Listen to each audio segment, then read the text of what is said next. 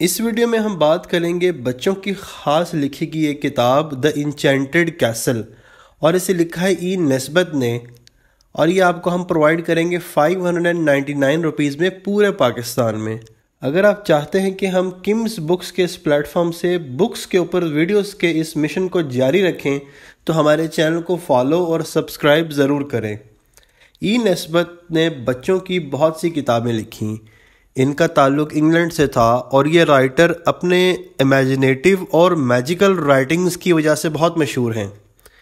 इनकी खासकर दो किताबें ज़्यादा मशहूर हुई, जिनका नाम फाइव चिल्ड्रन एंड इट और द रेलवे चिल्ड्रन है। इस राइटर का ज़्यादातर काम फैंटेसी और रोज़मर्रा ज़िंदगी के ऊपर है। ये किताब द इंचेंटेड कैसल तीन बच्चों के गिर्द घूमती है, जिनका नाम गार्लैंड जिमी और कैथलीन है। इन बच्चों को अपने इलाके की सैर करते करते एक दिन मैजिकल कैसल नज़र आया।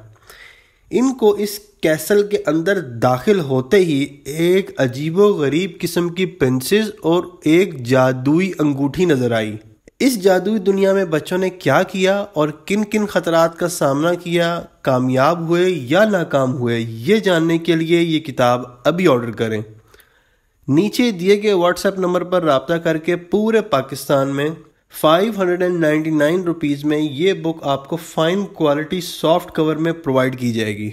अगर आपको हमारा चैनल अच्छा लगा है तो इसे फॉलो और सब्सक्राइब ज़रूर करें।